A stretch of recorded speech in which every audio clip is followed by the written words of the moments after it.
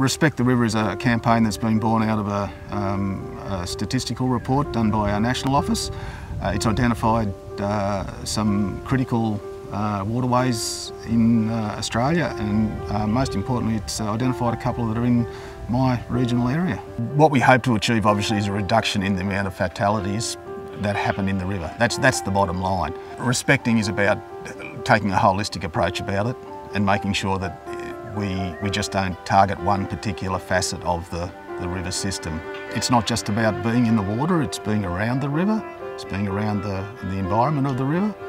So it, it encompasses a whole lot of things. If you're on the river boating, the people come down to, to swim in it. If you're walking along the bank, uh, there are certain aspects that you need to understand about it. Uh, there is a high incidences of um, alcohol and, and, watercraft being used um, simultaneously and uh, causing uh, problems.